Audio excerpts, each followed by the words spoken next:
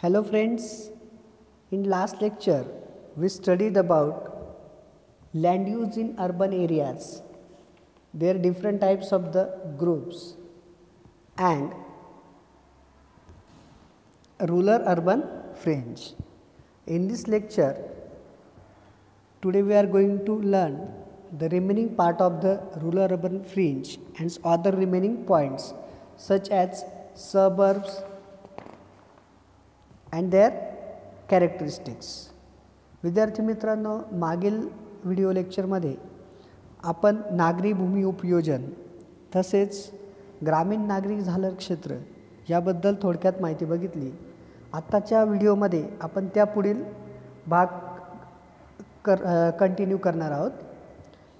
So let see the towns away from the main city maintain their distinct identity and have a distinct set of problems relating to urban amenities and transportation. The quality of these services are generally inferior. The areas in the rural areas also exhibit central a certain level of diversity agriculture land may have been converted to residential or industrial areas or the whole area may be entirely rural. The only link with the city being the daily commuters beyond the urban fringe lies the rural fringe consisting of villages only and partly affected by urbanisms. मागील व्हिडिओमध्ये बघितलं की आपण ग्रामीण आणि नागरिक क्षेत्र याच्यामध्ये कशा प्रकारचा फरक असतो? आणि दोघांचं मिळून एक दोघांचं एक कॉम्बिनेशन मिळून एक झालार तयार होते त्याला आपण कशा पद्धतीने एलॅबोरेट करतो? आणि त्याच्यामध्ये कसे वेगवेगळे घटक कार्य करत असतात? काय होतं की बऱ्याच वेळेस मोठ्या शहरांपासून दूर असलेली नगरे मात्र स्वतःची ओळख सांभाळून राहतात. या नगरांचे प्रश्न वेगळ्या स्वरूपाचे असतात. हे प्रश्न प्रामुख्याने सोयीसुविधा व वाहतुकीचे असतात. या सोयी या भागात कमी दर्जाच्या असतात जसे आढळते असे आढळते की झालर क्षेत्रातील ग्रामीण भागातही काही प्रमाणात विविधता आढळते. शेतीसाठी वापरत असलेली जमीन निवासी क्षेत्रात किंवा औद्योगिक क्षेत्रात परावर्तित होते. काही वेळेस पूर्णत ग्रामीण भाग तसाच राहून तो भाग शहराशी क्यू केवळ नागरिकांच्या राहण्यासाठी व शहरात रोजच्या प्रवासासाठी वापरला जातो. नागरी झालर क्षेत्राच्या पुढे ग्रामीण झालर क्षेत्र असते. या भागातील ग्रामीण भाग काही प्रमाणातच नागरीकरणाने संक्रमित झालेला आढळतो. Next important topic is that suburbs म्हणजेच उपनगरे. According to the concept suburbs. Suburbs means what? Outside the metro city, there may occasionally be a small town or a number of well established towns or small cities. I repeat once again what is suburbs? Outside the metro city or the main city, there are many occasionally be a small town or a number of well established towns or small cities. These are often called suburbs. For example, Bhandup, Kalyan, Virar, etc. In Nasik city, the uh, area like Mashrul, Satpur, Nasik Road, New Sidco. In Nasik, these areas are considered to be the suburbs of the main city of Mumbai and Nasik. Uh, according to the Mumbai index, uh, the cities given here Bhandup, Kalyan and Virar. And according to the Nasik, which is not mentioned, uh, but for your better understanding, I just told you in Nasik, uh, like Masrul, Satpur, Nasik Road, and New Sidco areas. They are all cities in themselves but developed as a result of growth in Mumbai or Nasik. hence they they are the suburbs of mumbai similarly wakad hinjwadi are suburb of pune आता आपण उपनगरांबद्दल माहिती मिळूया उपनगरे म्हणजे काय की महानगरांच्या सीमांवर लहान आकाराची नगरे लहान शहरे किंवा मोठी नगरे असतात. अशा नागरी क्षेत्रास उपनगरे म्हणतात. उदाहरणार्थ भांडूप कल्याण विरार इत्यादी मुंबई महानगराची उपनगरे मानली जातात. नाशिक शहरामध्ये सुद्धा नाशिकचा जर आजूबाजूचा जर एरिया बघितला उदाहरणार्थ मसरूळ सातपूर किंवा नाशिक रोडचा काही भाग किंवा न्यू सिडको नवीन सिडकोचा काही भाग हा उपनगरांमध्ये समाविष्ट झालेला असतो. ही सर्व लहान मोठी नगरे मुंबई शहराच्या विकासासाठी परिणामाने वाढलेली आहेत.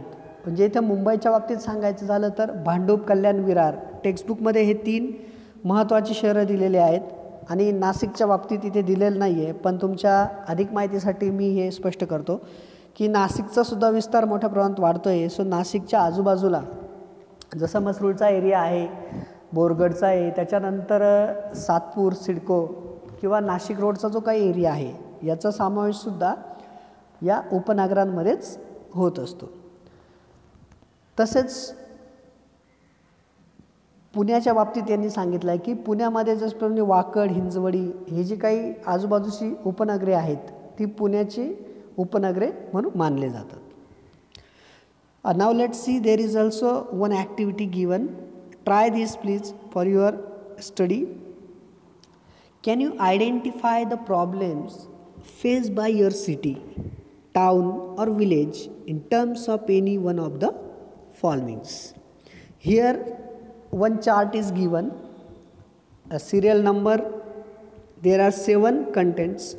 In second column, types of problems given, and in third, problems issue.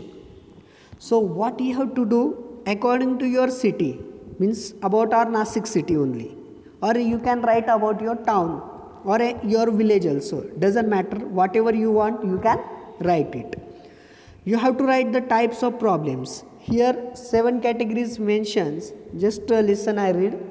First of all economic problems social problems cultural problems environmental problems infrastructural problems governance and administrative problems and other problems so you have to write which problem uh, you have faced in your city or your village तुम्हाला एक परत एक activity कृती दिलेली आहे ती तुम्हाला करून बघायची आहे ती कृती अशी आहे की खालीलपैकी कोणत्या समस्यांना तुमचं शहर तुमचं नगर किंवा गाव हेच गावाला तुम्हाला सामोरे जावं लागतं ते तुम्हाला याच्यात लिहायचं आहे याच्यामध्ये बघा तीन कॉलम दिलेले आहेत. पहिला आहे अनुक्रमांक दुसरा आहे समस्यांचे प्रकार आणि तिसरं म्हणजे प्रश्न किंवा समस्या. तुम्हाला याच्यामध्ये काय करायचं की तुमच्या गावाच्या म्हणजे जे ज्या काही समस्या आहेत फॉर एक्झाम्पल जर तुमच्या शहरात रस्ते चांगले नाही आहे तर ते कशा प्रकारे देतं हे लिहायचं आहे आर्थिक समस्या जर तुमच्या याच्यात बेरोजगारी वाढत असेल रोजगार नसेल तर त्या अशा प्रकारच्या समस्या तुम्ही याच्यामध्ये लिहायचे. समस्यांचे प्रकार मी एकदा वाचतो तुम्ही काळजीपूर्वक ऐकायचे आहेत. समस्यांचे प्रकार आर्थिक समस्या दुसरा आहे सामाजिक समस्या तिसरं आहे सांस्कृतिक समस्या चौथा आहे पर्यावरणीय समस्या पाचवा आहे पायाभूत सोयी सुविधा सहावा आहे शासकीय व प्रशासकीय समस्या आणि सातवा आहे उपाय इतर समस्या. याच्यानंतर can you think after that can you think the solution of this problems if yes you can write your problems or suggestions जर तुम्हाला त्याबद्दल तुम्ही जे काही समस्या मांडणार आहात त्या समस्यांवरती जर तुम्हाला वाटत असेल की सर हे आपण असं केलं तर ही समस्या नाही होणार तर तुम्ही त्याच्याबद्दलसुद्धा थोडक्यात समस्यांचं निराकरण म्हणजे समस्यांवरची उपायसुद्धा लिहू शकता. Next one look at this map according to the map guess the map which districts? Yes it is a map given here. It is kolhapur districts. What uh, what is given here? Uh, look at this map of Ichalkaranji city. Ichalkaranji, which is located in Kolhapur district. Ichalkaranji city given below and observe how changes. Observe how changes have occurred in the city over the years? Answer the question and write down in your notebook. तुम्हाला काय करायचं की पुढे जो आहे एक नकाशा वाचन करायचं आहे. नकाशा वाचनामध्ये एक उपक्रम दिलेला आहे. त्याच्यामध्ये असं की इचलकरंजी शहर जे आहे जे कोल्हापूर जिल्ह्यातील एक प्रसिद्ध असं एक शहर आहे. तिथलं भूमी उपयोजन आणि भूमी आच्छादन. याबद्दलची त्याच्यात नकाशामध्ये थोडक्यात माहिती दिलेली आहे. तुम्हाला काय करायचं आहे की हा जो काही इचलकरंजी शहराचा जो नकाशा आहे या नकाशामध्ये या शहरात काळानुसार कोणते बदल झाले याचे निरीक्षण करायचे आहे आणि काही प्रश्न दिलेले आहेत. त्या प्रश्नांची काय करायची उत्तरं लिहायची आहेत. नकाशा दोन विभागात दिलेला आहे. Two types of the map given here map A and map B what you have to do you have to do uh, you have to study both maps be carefully observe the map and write down the answers of the questions which is given here the questions such as enlist the colors used for showing land uses in the index पहिला प्रश्न आहे सूचीमध्ये दिलेली दिलेले भूमी उपयोजन कोणत्या रंगात दाखवले आहेत त्याची यादी तयार करा. List the colours use for showing land uses in the index second what do the blue and the black lines show नकाशामध्ये निळ्या रंगाची सलग रेषा आणि काळ्या रंगाची सलग रेषा काय दाखवित आहे? Look at the two lines blue and black निळ्या रंगाची रेषा आणि काळ्या रंगाची रेषा. दोघांचा तुम्हाला काय करायचं आहे? अभ्यास करायचा आहे आणि ते काय दाखवत आहेत? ते शोधायचं आहे. What is the name of the river in the map नकाशातील नदीचं नाव काय आहे ते तुम्हाला लिहायचं आहे किंवा ओळखायचं आहे. Number four name any two villages shown on the map नकाशातील कोणत्याही दोन गावांची नावे सांगायची आहेत किंवा लिहायची आहेत. नकाशाचं वाचन अतिशय बारकाईने करायचं आहे. Observe the map very clean and neat afterwards you will get answer नकाशाचं वाचन अतिशय बारकाईने करायचं आहे. नंतरच तुम्हाला यांची उत्तरं मिळणार आहेत. Next question number five which city is shown on the map नकाशात जे नगर दाखवले आहे ते कोणते आहे? Number six which periods do the maps belong to सहावा प्रश्न आहे हे दोन्ही नकाशे कोणत्या काळातील आहे? Number seven which land covers have reduce what are their colours सातवा प्रश्न असा आहे की दोन्ही नकाशांची तुलना करता कोणते भूमी आच्छादन कमी झाल्याचे दिसत आहे व त्यांचे रंग कोणते आहे? या दोन्ही नकाशांची काय करायची? तुलना करायची आहे तुम्हाला. आणि त्यांचं भूमी उपयोजन भूमी आच्छादन कशा प्रकारे झालं आहे? त्याची तु त्याचे रंग कोणते आहे? याची सगळी माहिती लिहायची आहे. Question number eight which land covers seen to have increase what are their colours आठवा प्रश्न जो आहे तो म्हणजे कोणकोणते भूमी आच्छादन वाढल्याचे दिसत आहे त्याचे रंग कोणते? तुम्हाला कोणकोणते भूमी आच्छादन वाढल्याचं दिसतं आहे नकाशामध्ये ते लिहायचं आहे ते ओळखायचं आणि त्याचे रंग देखील कोणते आहेत ते ओळखायचे आहेत. Number nine which land covers have been replace by the increase land covers वाढलेले भूमी आच्छादन कोणत्या भूमी आच्छादनाची जागा घेत आहे? And number 10, write a conclusive note comparing both the map. नकाशाची दोन्ही नकाशांची तुलना करता एक निष्कर्षात्मक टीप तुम्हाला इथं लिहायची आहे नाव let see the more descriptions about the both map According to the map, both maps shown land use and cover from two different period. First one 2007 and 2017. For the city of Ichalkaranji in Kolhapur district, the map show the main city and the surrounding regions. In various colors shown types of land uses and land covers. आता याचं भौगोलिक स्पष्टीकरण आपण बघूयात की दोन्ही नकाशामध्ये जे काही मॅप दिलेले आहेत नकाशे दिलेले आहेत दोन्ही इचलकरंजी शहराचे कोल्हापूर विभागातील. तर त्यानुसार असं आहे की कोल्हापूर जिल्ह्यातील इचलकरंजी शहराचा दोन हजार सात व दोन हजार सतरा या काळातील नकाशांमध्ये पुढील बाबी आढळतात. यामध्ये कोणत्या बाबी आढळतात? या नकाशात मुख्य शहर व आजूबाजूचे क्षेत्र पाहावयास मिळते. नकाशामध्ये वेगवेगळ्या रंगांनी भूमी आच्छादन व भूमी उपयोजन दाखवले आहे. When we see the maps carefully we find that the area under wasteland scrub has transform into industrial areas also few parts in the city which show built up has increased from sparse to dense. In some parts in rural areas, area under mining has increased. Some queries have come up. Some areas under recreation have also reduced and denser urban growth is seen in this area.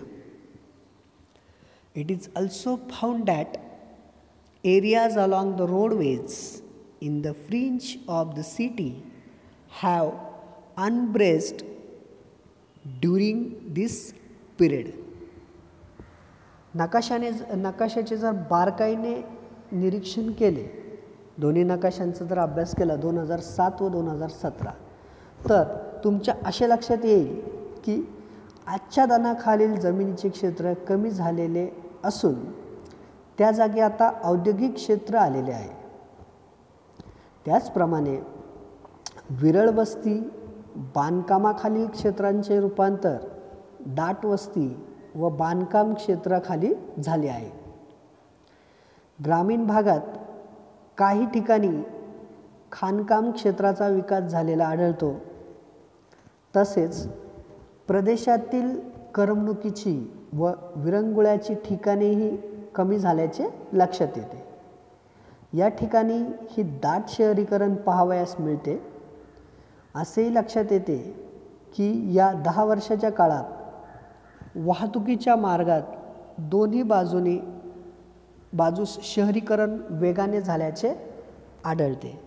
दोन्ही map जर बघितले आपण तर इचल इचलकरंजी शहराचा विकास हा दोन हजार सात ते दोन हजार सतरा या दहा वर्षाच्या काळामध्ये प्रचंड प्रमाणात झालेला असतो according to this map this is the only example of Ichalkaranji city but if you observe if you compared any two different maps of the same cities. If you studied of Nasik city in 2007 and 2017, uh, you also find so many changes which occupied by human development and human settlement.